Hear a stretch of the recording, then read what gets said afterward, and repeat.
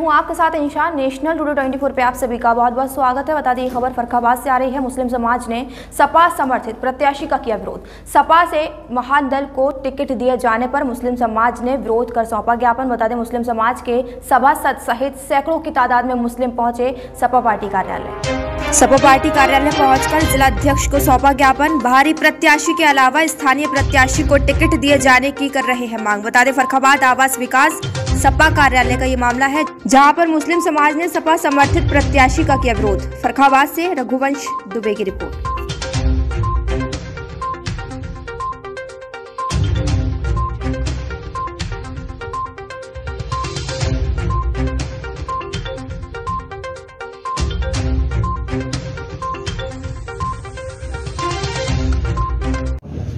मैं आपके इनक्लोजर ये भी जाएँगे चले जाएँगे और वो भी चले जाएँगे। और मैं हमारा कैलकुलेटर लग के जाएगा ठीक है?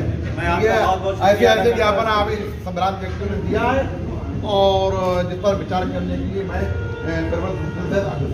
भाषा लिख के भेजेंगे ठीक है बात चाहते हैं हम लोग। आई वो बाहर के से लेकिन हम उसका मान सम्मान करते हैं।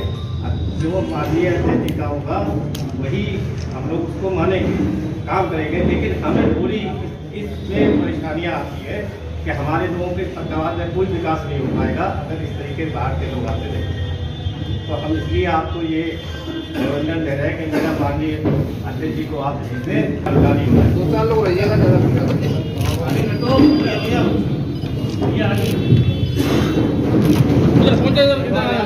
जरा बड़ा रखो,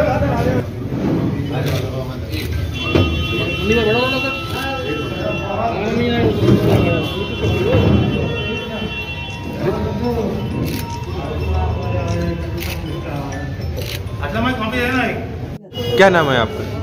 शेर खान। किस चीज़ का आपने ज्ञापन दिया जिलाध्यक्ष को? ज्ञापन इस बात का दिया है कि अपनी हमने मन की बात दी है कि इसमें जो कैंडिडेट घोषित किया गया है वो हमारे फरकाबाद का नहीं है। तो इससे हमारे फरकाबाद का विकास नहीं होगा हमारे लोगों के हित में होगा कि आप जो है इसमें अपने अध्यक्ष जी को माननीय अध्यक्ष जी को जो है अपने तरफ़ से भेज दें कि इसमें बाहर का आदमी है, लोग इसमें थोड़ी सी परेशानी आ रही, लेकिन उनका अगर आदेश रहेगा तो उसे हम जो है, हम मानेंगे।